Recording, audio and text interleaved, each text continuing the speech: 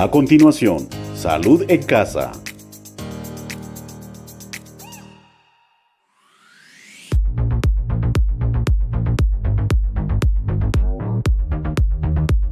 Cordial saludo a toda nuestra comunidad gachancipeña que a esta hora nos ve a través del canal 8 de la antena parabólica de Gachancipá. Bienvenidos una vez más a este su programa Salud en Casa. Información importante para todas las familias, para toda la comunidad que quiere saber sobre temas de prevención, cuidado de la familia, cuidado de los niños, jóvenes, adolescentes. Y hoy tenemos un tema bien interesante. Para ello nos acompaña como siempre nuestra profesional del PIC, Natalie Wilches, que les enviamos un saludo muy especial por acompañarnos y traernos esta información bien especial para toda la comunidad de Gachancipá. Gracias Edwin y ustedes por el espacio como siempre para poder llegar a nuestra comunidad. Como Edwin lo dice, hoy en un tema muy importante, este mes, en noviembre, conmemoramos la lucha contra la violencia de género. Y pues hoy estamos hablando, hoy vamos a hablar de un tema muy importante que es la violencia sexual eh, contra menores eh, de 15 años. Una situación que, un flagelo que vivimos a nivel mundial y que pues en Colombia, en nuestro país, en nuestro departamento, eh, es uno de los que presenta cifras muy elevadas y por eso la importancia de hablar de este tema y poder generar una conciencia importante en nuestras familias, en la identificación, en cómo fortalecemos prácticas de autocuidado en nuestros niñas y niños, en cómo los preparamos para que ellos generen prácticas protectoras y mm. prevengan estas situaciones que son tan graves y que dejan secuelas no solo físicas, sino emocionales y que marcan la vida de los niños para siempre. Así es, Natalie. Es un tema que se debe tratar con total seriedad con respecto a, los, jóvenes, niños y adolescentes que son menores de 15 años, puesto que la ley los cobija, la ley eh, es bien eh, estricta frente a estos casos que se presentan en nuestro país, y en el caso aquí en el departamento y pues también en el municipio que tampoco es ajeno a este tipo de casos. Para iniciar, Natalie, comentémonos, eh, comencemos a ver un tema como de datos qué estadísticas hay en el departamento, en la nación con el tema de abuso sexual a menores de 15 años? Edwin, es muy importante eh, reconocer que el 85% de los casos que son denunciados de violencia sexual son ejercidos contra niñas y niños. Y acá tengo unos datos muy importantes del 2020 y del 2021 que son como los más recientes que tenemos y dice que en el año 2020 se registró un total de 18.054 exámenes médico-legales, que son los que se hacen para identificar pues, los presuntos delitos sexuales. El 85.1% fueron a niños y a niñas de esos exámenes médico-legales y en adolescentes de 0 a 17, 15.370 eh, 15, casos. Entonces, si nosotros nos damos cuenta, la mayoría o el gran porcentaje ejercidas contra niños y niños y contra adolescentes, las dos etapas de ciclo vital que son donde los chicos están más vulnerables y pues se pueden estar exponiendo a estas situaciones. En el 2021 se practicaron 18.478 exámenes médico-legales y nosotros lo comparamos con el 2020, pues decimos que tuvo un comportamiento como muy similar, presentando con una tendencia al aumento. Em, importante tener en cuenta que las entidades territoriales reportaron esos exámenes médico-legales y siendo Bogotá, Cundinamarca está dentro de los cinco primeros, ¿sí? Inicia eh, Bogotá, luego vamos con Antioquia, Valle está en el tercer puesto y Cundinamarca está en el cuarto puesto y termina con Santander. Es decir, que en nuestro, en nuestro departamento también las cifras y datos pues son de los más elevados que conocemos a nivel nacional. Entonces, no estamos lejos de la situación que de pronto en nuestras familias, en nuestra comunidad, en nuestro barrio, vereda, pues no son conocidos los casos. De hecho, nosotros, eh, si algo que tenemos claro, digamos, en el tema de los profesionales de la salud, y es que en las familias tienden a esconder las situaciones. porque pues lo ven con un tema de, privacidad, del que dirán, de mis hijos. Eh, hay muchas situaciones y tienden a esconderlo, ¿sí? Y pues eso puede ir de la mano con la no denuncia. ¿Cierto?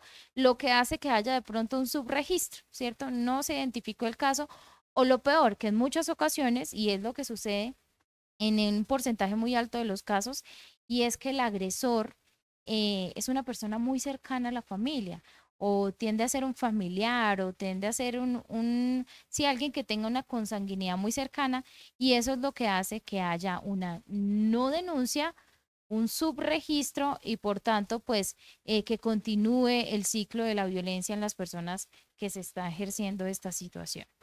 Natalia, vemos que siempre hay unos casos, más de 6.500 en nuestro departamento de Cundinamarca. Muy elevados los datos. Muy elevados los datos y, tenemos que eh, encender las alarmas en nuestras familias, encender las alarmas en nuestros centros educativos. Eh, eh, lo que tú decías, la mayoría de registros se ocasionan por personas que son de la familia o son muy allegados a la familia. También lo que decías que no se encuentran esos registros porque el miedo a que estar en la palestra pública, que el vecino conozca este tipo de casos que están sucediendo en el hogar, pero no tengan miedo porque para eso está la norma, para eso está la ley y para eso están las instituciones de, salud para poder atender este tipo de casos. Eh, para entrar en materia, Natalie, ¿de qué se trata el abuso sexual y qué es lo que determina el abuso sexual? Bueno, la violencia sexual está definida por la ley 1146 del año 2007 y dice que pues eh, la violencia sexual es cualquier acto sexual, cualquier conducta sexual que sea ejercida contra un menor de 15 años y que haga que conlleve a un acto sexual, ¿cierto? Tocamientos, besos, caricias, el coito interfemoral y por supuesto ya lo que hablamos de lo que es el asalto sexual o el acceso carnal violento. Cualquier conducta, y creo que eso partiendo de acá, Edwin, es lo más importante que todas las personas debemos reconocer en muchas ocasiones no reconocemos que hay unas diferentes formas de violencia. Ya un solo tocamiento y un solo beso es una forma de violencia.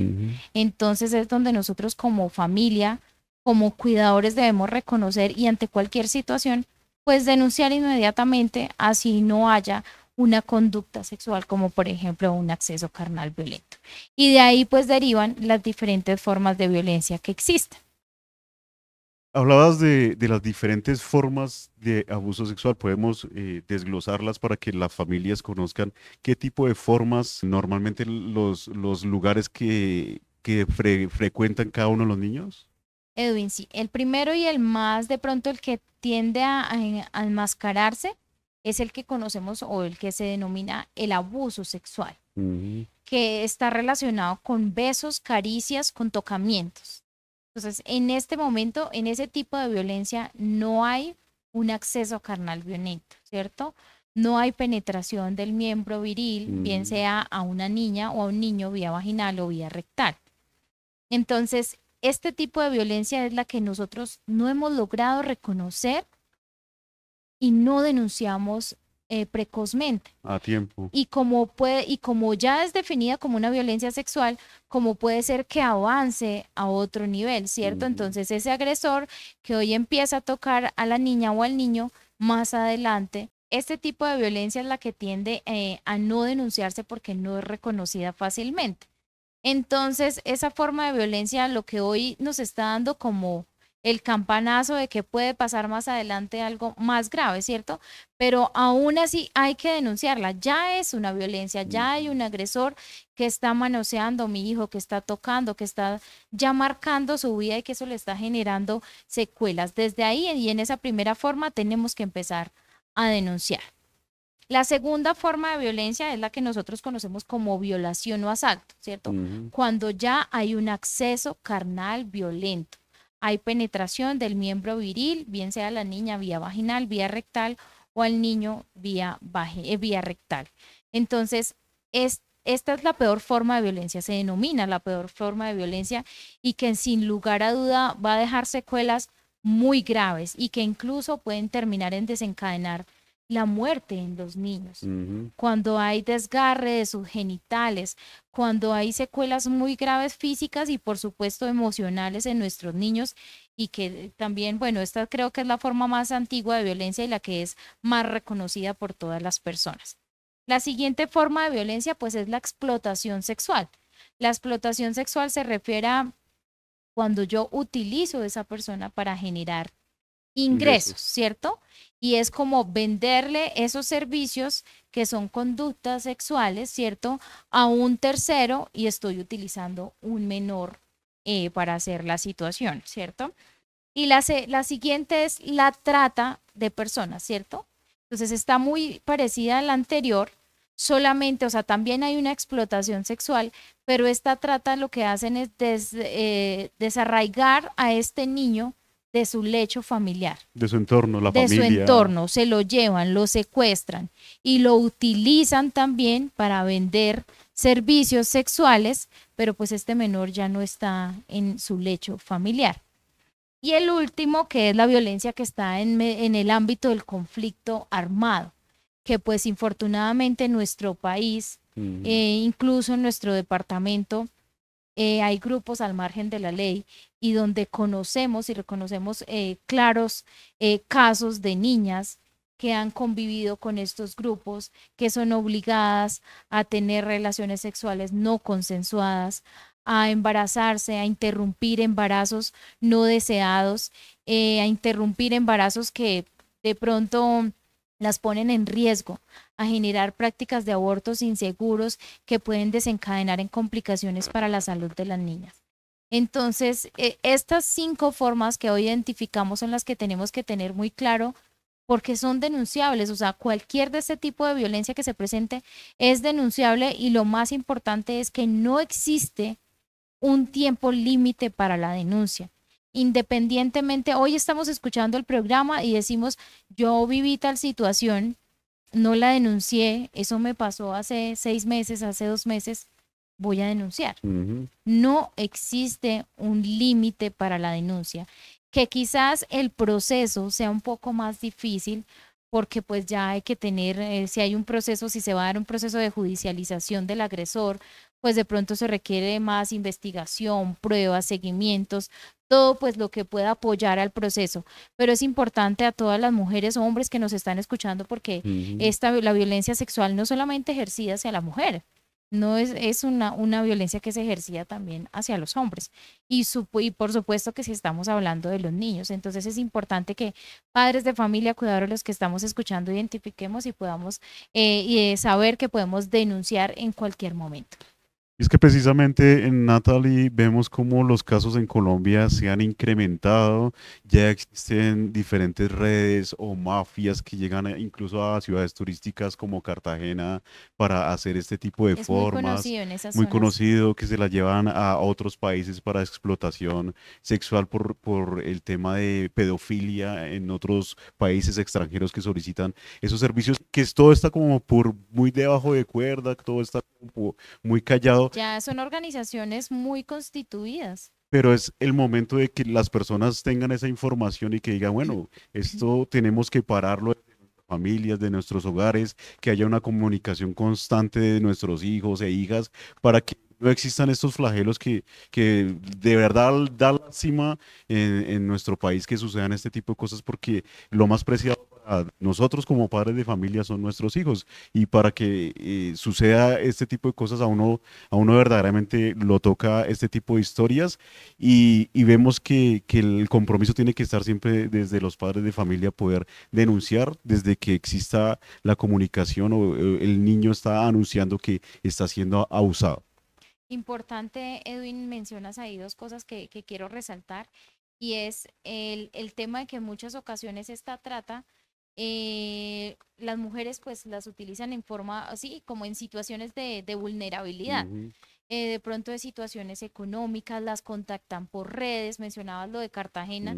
Eh, ahí el llamado a las niñas, a las, a las adolescentes es seamos muy precavidas a quien le compartimos nuestra información personal, eh, de pronto fotos, videos, algo que nos ponga en situaciones de vulnerabilidad, eh, que nos amenacen, que nos estén extorsionando, que voy a publicar la foto, eh, la información, las redes sociales, ser muy cuidadosos con los sistemas, todo lo que está relacionado con las redes sociales, con quién hablamos, quién nos contacta, definitivamente ahí es donde nosotros eh, nos ponemos en riesgo y en situaciones, nos exponemos a situaciones, hablamos, nos contactamos con personas que no conocemos, de pronto nos llama la atención que viene de otro país y nos dejamos llevar por por situaciones de indefensión, desconocimiento, vulnerabilidad, no sé cómo se, se pueda llamar el contexto, pero que nos engañan. Sin lugar a duda nos engañan y terminamos envueltas en situaciones eh, graves y definitivamente eso es algo que, que nosotros debemos eh, como que tener muy, muy en cuenta.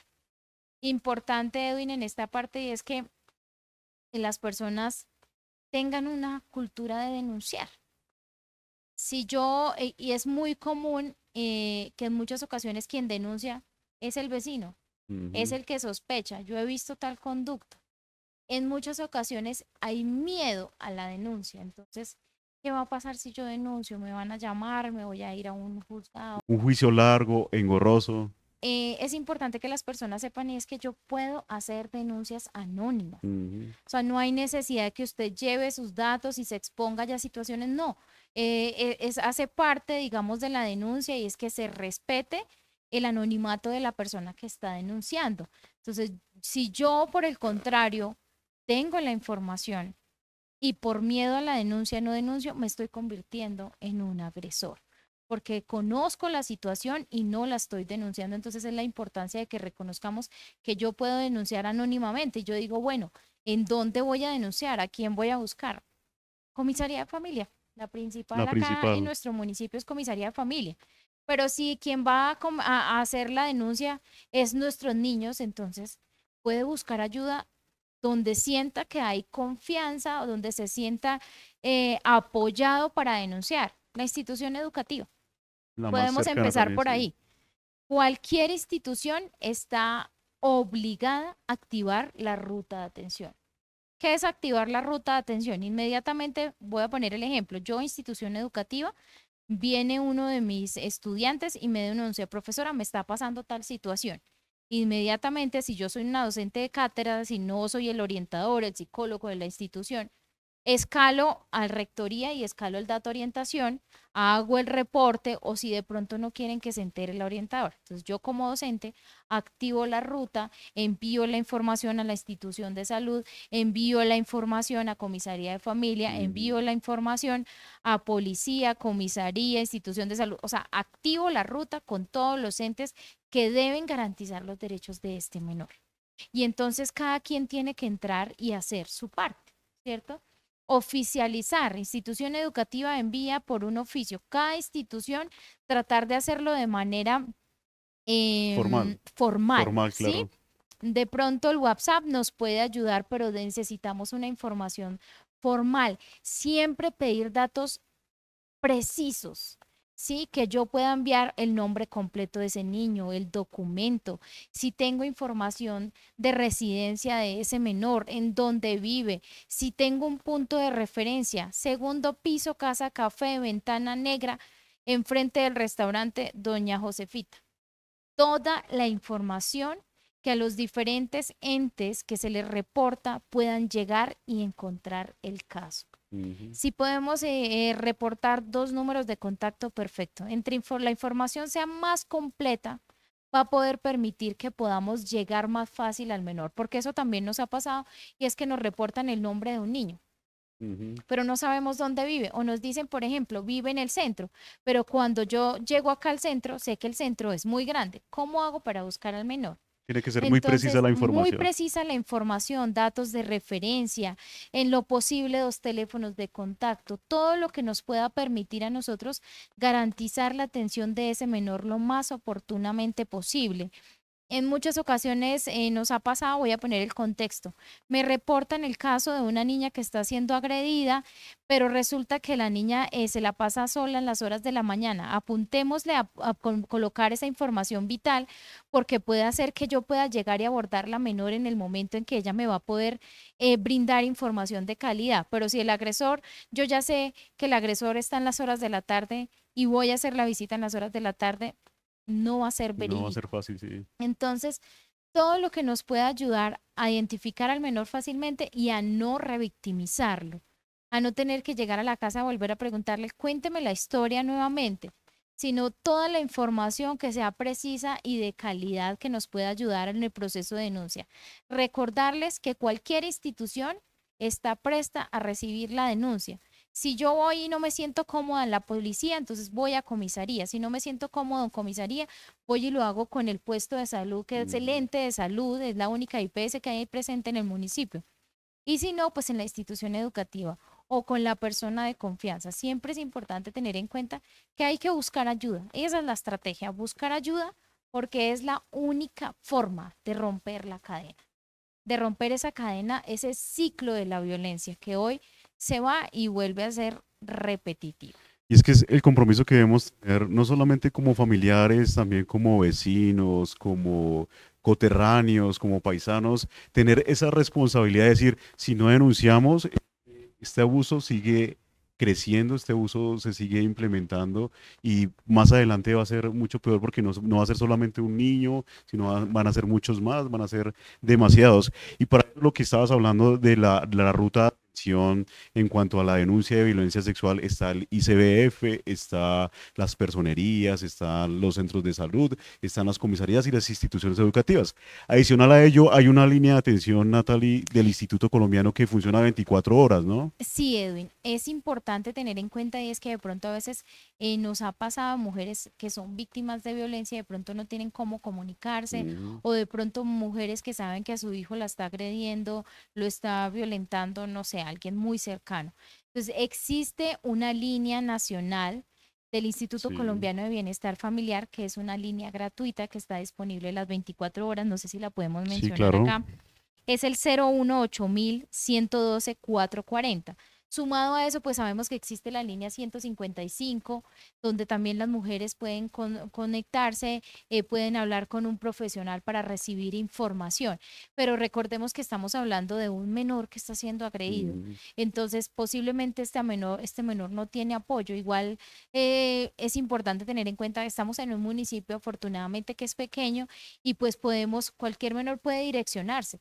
Lo ideal es que lo hagan compañía de un adulto, pero si el menor cree que no tiene con quién y, tiene que hacerlo por sus propios medios, que lo haga. Ya los entes eh, comisaría, quien es que hace el proceso de verificación de derechos de este menor, pues se encargará de hacer el proceso de acompañamiento y de garantizarle los derechos a este menor. Edwin, es importante tener en cuenta y es que eh, nos debe quedar clarísimo y es que cualquier violencia sexual es una urgencia, ¿cierto? Es decir, Natalie, que cualquier niño o cualquier niña o cualquier padre de familia que esté evidenciando o presenciando cualquier tipo de violencia sexual puede acudir a un centro de atención en salud y lo van a atender como si fuera una urgencia médica? Claro que sí, Edwin. Cualquier tipo de violencia sexual es considerado como una urgencia vital y de hecho en el centro de atención eh, que nosotros manejamos todo el tema de los triage, que es como la priorización de acuerdo al caso. Eh, una violencia sexual se considera un triage 1. Eso quiere decir que debe ser atendido inmediatamente. Si la violencia sexual ha transcurrido en un periodo, digamos, ya mayor a 72 horas, sigue siendo una urgencia vital, pero ya le damos un triage 2. Eso depende, pues, el tipo de violencia que se haya presentado, pues, porque determina como la urgencia al manejo del caso porque se le debe haber una, hacer una atención, garantizar una atención en salud, un examen médico legal, profilaxis para infecciones de transmisión sexual. Eh, se debe garantizar la anticoncepción, digamos, eh, pos el acceso carnal violento que para la prevención del embarazo no deseado. Entonces, son varios procedimientos que se deben eh, implementar y el, por eso el tiempo es vital. ¿Cierto? Y por eso se le debe garantizar la atención oportuna. En nuestro municipio, pues nosotros tenemos el puesto de salud de Cachancipá, que es nuestro ente en salud, ¿cierto? Nuestra IPS.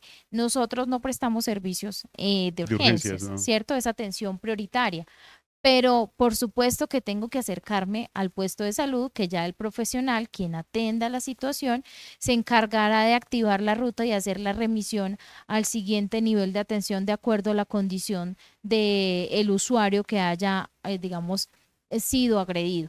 Entonces, no puedo esperar a decir, me voy a ir para Zipaquirá. No, yo lo puedo hacer aquí en la institución de salud que hay en el municipio porque puede que ese usuario tenga dificultades para el desplazamiento. Entonces, no podemos ponerle barreras de acceso, sino que llega a nuestro puesto de salud y nosotros y el profesional que está en la atención hará, digamos, eh, la remisión al siguiente nivel para que se haga el proceso del examen médico legal y se active la ruta y los procedimientos en salud que se tienen que garantizar de acuerdo al protocolo de atención a víctimas de, violencia sexual. Y es que es muy importante lo que dices, Natalie, porque eh, es importante saber que eh, la persona tiene asegurada su atención, el joven, el niño, adolescente, tiene asegurada la atención para que le puedan hacer los exámenes, lo que decías de la interrupción también en en el caso de que haya pasado algún tiempo y para prevenir también el tema de las enfermedades de transmisión Por sexual. Que sí. y, y esto es válido para que no tengan miedo de acudir a estos centros de salud que también es, es, prioritario y lo atienden de manera gratuita a todas las personas que se acercan al centro de salud para eh, denunciar este tipo de, de abusos o violencias sexuales. Eh, Natalie, ¿por qué es importante denunciar a tiempo? ¿Por qué es importante eh, utilizar los mecanismos que dijimos con anterioridad con las diferentes instituciones, con las rutas de atención, para que las personas tengan en cuenta por qué es importante esto?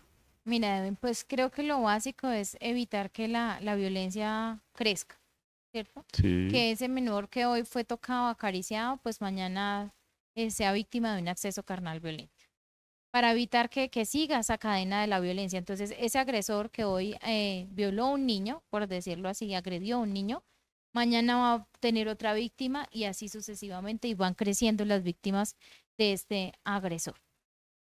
Y tercero, creo que es una de las más importantes para quien ha sido víctima de la violencia y es una de las estrategias para reparar.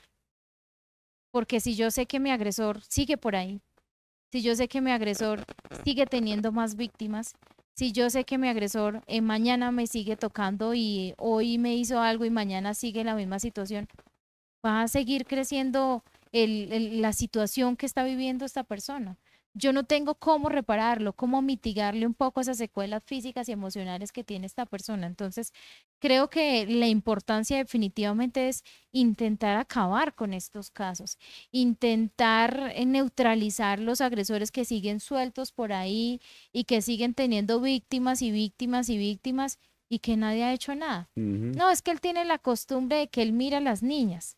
Él tiene la costumbre de que le coge la cola a las niñas. Es un agresor. Y no podemos subestimar la, eh, la violencia porque todavía no ha pasado algo grave. O sea, es, es, importante que nosotros, padres de familia, todos, reconozcamos las formas de, de, violencia e identifiquemos que lo, lo importante y lo prioritario en esto es denunciar. Infortunadamente, y creo que eso es algo que lo manifiestan muchas personas y dicen, es que yo fui y no hicieron nada es que yo fui y pues ahí no, no le hicieron nada, le pusieron una, una caución, pero sigue ahí. Entonces, la importancia acá también es que reconozcamos que debemos escalar la denuncia. Si yo veo que voy y denuncio en mi municipio y en mi municipio no hicieron nada, váyase a la Fiscalía General de la Nación, váyase a alguna de las sedes. A la regional de Fiscalía. váyase a ICBF, nosotros no tenemos acá uno cercano, bueno, tenemos el más cercano, Zipaquirá, tenemos una sede, busque una opción, pero no se puede quedar usted quieto esperando a que de pronto puede que haya negligencia y, puede que eso suceda. Son casos, son situaciones que no estoy diciendo que pase en nuestro municipio, pero que se pueda presentar en algún lado. Entonces yo busco una opción de donde me atiendan, donde me den respuesta a mi caso. Sigo el escalando, vaya a la fiscalía y ponga la denuncia porque usted está sintiendo que donde denunció inicialmente no le garantizaron sus derechos y que sigue siendo vulnerado. Entonces, la, la, idea acá es buscar ayuda, definitivamente buscar quién me atienda a mi situación.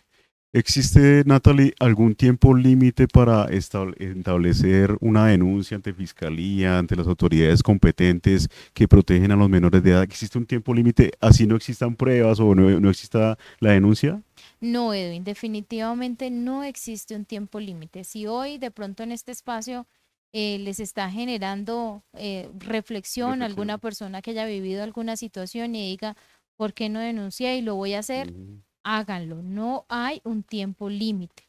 Se recomienda, por supuesto, siempre a una persona que ha sido víctima, un, sobre todo un niño, una niña que ha sido víctima de violencia sexual, pues por supuesto que lo hagan en el menor tiempo posible, porque eso va a permitir eh, garantizarle una atención en salud, una atención psicosocial, ya lo habíamos mencionado, una profilaxis para prevenir infecciones de transmisión sexual, para prevenirle un embarazo no deseado.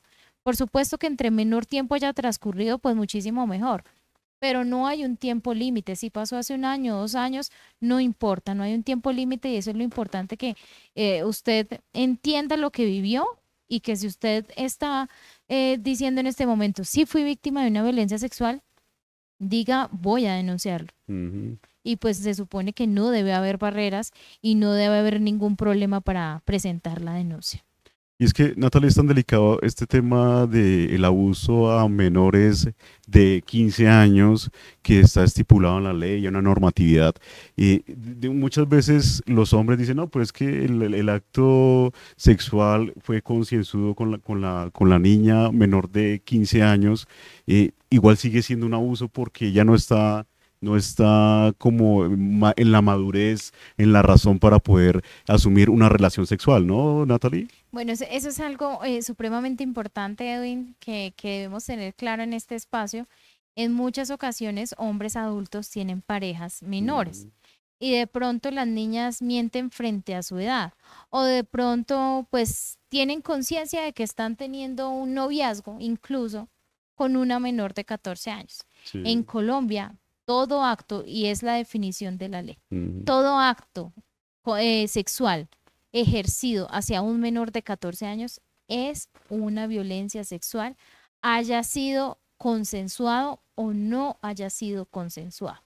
Puede ser que la novia del señor eh, pues tenga 13 años y ya es conocido para todo el mundo, pero si el padre de familia, el tutor, el cuidador de esa menor quiere denunciar, él se convierte en un agresor. Es un agresor. Y eso tenemos que tenerlo supremamente claro de pronto para, para identificar factores de riesgo o cosas a las que pueden estar expuestos los hombres. Es una menor de 14 años. Ya en un mayor de 14 años, pues se considera que tiene autonomía reproductiva, autonomía en el ejercicio de su sexualidad. Que nos den cédula a los 18 años es diferente. Pero en cuanto cuando hablamos del tema de violencias sexuales, debemos ser como muy em, digamos, precavidos en esto porque estamos pudiéndonos convertir en agresores. O de pronto le mandó un mensaje a la niña, le mandó una foto y resulta que la mamá se dio cuenta y lo denunció. Se convierte en una violencia sexual y que él se hace de pronto es un delito informático, ¿sí? Lo, lo, está haciendo por medio de una red social. Entonces, sean ustedes como muy precavidos en eso, los hombres que nos están viendo, porque se pueden estar convirtiendo, o incluso mujeres. Infortunadamente, la cifra nos dice que son más ejercidas de hombres hacia mujeres, entonces por eso uno tiene como la tendencia a mencionarlo de esa manera pero es importante, cualquiera de los dos se puede convertir en agresor, entonces ojo para que ustedes estén muy pendientes que no vayan a estar cometiendo algún error o alguna situación que los pueda poner eh, en, riesgo. Así es, amigos televidentes, un tema muy interesante que estamos eh, tratando el día de hoy, violencia sexual a menores de 15 años, un tema para que ustedes también lo puedan ver a través de las redes sociales, ahí canal comunitario APG a través de Facebook y también a través de nuestra página de YouTube. Allí pueden también ver nuestros contenidos de los diferentes programas que tratamos aquí de salud en casa. Continuamos, Natalie, con este tema bien interesante y hay unas tareas que debemos tener todos como padres de familia, como vecinos, como compañeros también de trabajo y lo que nos une también como comunidad, como sociedad, siempre estar muy pendientes a este tipo de abusos sexuales que suceden en nuestros municipios. Entonces, Natalie, ¿qué tareas conjuntas tenemos pendientes para tener en cuenta eh, en este tema? Mira, creo que, que parte de la estrategia para combatir esta situación es que nosotros como familia, como comunidad, preparemos a nuestros hijos para la vida. Eh, empezar a hablar desde sexualidad, ¿cierto? Empezar a educarlos en sexualidad desde los primeros años de vida, eh, enseñarles al cuidado de su cuerpo, enseñarles cuáles son sus partes privadas y quién y por qué no las debe tocar, ¿cierto? Enseñarles eh, a que los niños no, no se dejen, digamos, comprar por dulces, por amenazas. A veces eh, los agresores utilizan eso. Saben que eh, su persona preferida es su mamá. Entonces eh, los amenazan y le dicen, si no se deja tocar o si no me toca, le voy a hacer algo a su mamá. Siempre esas situaciones utilizan la vulnerabilidad y pues como es un niño, pues lo hacen de esa manera. Entonces enseñarle a nuestros niños a no dejarse engañar por estos agresores, enseñarles el uso adecuado de las redes sociales, del Internet, del acceso, a dónde entran, a quienes le dan información eh, personal, enseñarle a nuestros niños eh, qué debe y cómo debe comportarse cuando esté con personas desconocidas. De pronto va a la casa de sus amiguitas, de pronto sale y juega en la calle y está cerca del agresor o el agresor está por ahí cerca y está eh, buscando posibles víctimas. Empoderar a nuestros niños en algo tan importante como es proyectos de vida. Recordemos que existe una forma de violencia que es la explotación sexual. Si nosotros no preparamos a nuestras niñas para la vida, para qué van a hacer cuando salgan de colegio, qué van a hacer cuando eh, estén en casa, o cómo ganarse recursos, qué pensar cuando estén más grandes. Entonces a nuestras niñas crecen sin saber para dónde van. Sin un proyecto de sin vida. un proyecto de vida. Entonces llega una persona que les pinta... Eh, Pajaritos en el aire. Sí, o, o, algo que les llame la atención. Vamos a viajar, vamos a conocer, vamos a ir a tal parte. Y las niñas se dejan llevar por eso y ahí existe el riesgo de trata de mujeres. Entonces, sin lugar a duda, nosotros como familia, como padres, como cuidadores, tenemos una tarea inmensa y es prepararlos para que cuando nosotros no estamos presentes, ellos mismos se puedan cuidar. Enseñarles a denunciar, enseñarles a que nos cuenten cuando están viviendo alguna situación que no les genera tranquilidad. Yo siempre digo y es cuando a mí me está pasando algo, y no lo digo ahorita desde la etapa adulta, sino incluso desde niña yo lo percibí así yo siento cuando hay algo que me, no me está generando comodidad. Si yo veo que alguien me está poniendo la mano donde yo no me siento cómoda, pues yo tengo que decirle, pararlo, informar y denunciar. Si yo siento que alguien me está diciendo que esconda un secreto malo, enseñémosle a nuestros niños que no hay por qué, pongámosles ejemplos claros, que es un, eh, un secreto bonito, que es un secreto malo, ¿cierto? sin lugar a duda, hay que prepararlos para que ellos puedan cuidarse cuando nosotros no estamos, no estamos presentes. Definitivamente, la base fundamental es la educación en, eh, en, sexualidad, la educación en autocuidado, cómo nosotros como padres de familia generamos espacios de diálogo con nuestros niños, que hablar de sexualidad no sea un tema mito en la familia, que yo pueda hablar abiertamente con mis, con mis papás y tenga la confianza de contarles, que yo no sea la figura de miedo, de terror, sino que por ejemplo sea la figura de, de confianza, que mi papá sea, sí, donde yo me siento protegido, donde yo me siento eh, cómodo para poder hablar y decirle a mi mamá, mamá, me está pasando algo generemos nosotros los padres de familia que de pronto somos, somos trabajadores y que no estamos en periodos muy largos con nuestros hijos, generemos momentos donde podamos llegar con ellos y podamos identificar señales.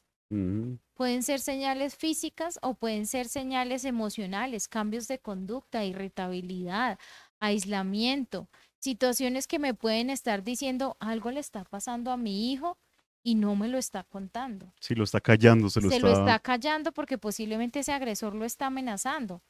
Entonces, creo que sin lugar a dudas son tareas que todos tenemos, a las instituciones educativas, a estar prestas a las denuncias, eh, a poder activar las rutas de atención, a hacer el puente con nuestros niños, porque los niños, su segunda casa, y de hecho, pues están mayor tiempo con los colegios porque están despiertos. En casa llegan y están dormidos. Entonces, eh, eh, los niños comparten muchísimo con profesores. En muchas ocasiones ese profesor se convierte en el amigo para poder contar. Entonces, ese amigo es quien le va a generar la confianza para poder denunciar. Y a las instituciones de salud, pues a que seamos garantes de brindar una atención de calidad, a no revictimizar las, las personas que están viviendo la situación, a generarles una atención oportuna, una atención de calidad, la confidencialidad, que es algo muy importante, que buscan las víctimas de violencia sexual. Entonces, eh, la tarea es de todos. Tenemos que trabajar y, e intentar que estas cifras y datos de estas situaciones que son tan tristes, que dejen, dejan tantas secuelas físicas y emocionales y que incluso pueden terminar en la muerte de estos niños, que nosotros la abordemos y que intentemos como familia, como sociedad, como comunidad, como gobierno, abordarla y generar estrategias y por supuesto prácticas protectoras en nuestros niños. Muy, muy, muy importante este tema de hoy, Natalie, es eh, la confianza que debemos tener con nuestros hijos, con nuestros vecinos, con las personas que están a nuestro alrededor. Y también muy importante que no lo nombraste y que creo que también se debe tener en cuenta el tema de las redes sociales, porque ahorita los jóvenes están más tiempo en redes sociales y si no estamos muy pendientes de que nuestros hijos, eh, con quién está hablando en redes sociales, qué fotografías está compartiendo, muchas veces eh, son manipulados para presentar fotografías con en paños menores y esto los utilizan para, para amenazarlos, para decirles si no hacen esto, no eh, lo amenazamos o le decimos a su mami o le decimos otra cosa.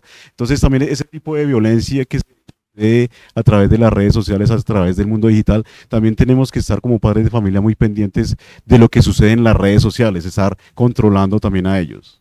Edwin, eso es supremamente importante, que nosotros estemos presentes como papás, que así no podamos por nuestros tiempos laborales, pero que seamos eh, garantes de sus derechos, garantes de que no estén expuestos a situaciones de vulnerabilidad, que los expongan no solamente a este delito, sino a otras situaciones de riesgo para la salud. Natalie, muchísimas gracias. De esta manera finalizamos una vez más este programa Salud en Casa, un tema muy interesante. Recuerden siempre llamar a las líneas de atención y por supuesto la invitación que hace la profesional Natalie Wilches desde el programa de intervenciones colectivas del municipio de Gachancipá para que ustedes eh, estén muy atentos y puedan presentar sus denuncias y puedan solicitar los servicios que ofrece el Centro de Salud de Gachancipá y la IPS aquí en nuestro municipio. Gracias, Edwin. Un abrazo muy especial para todos.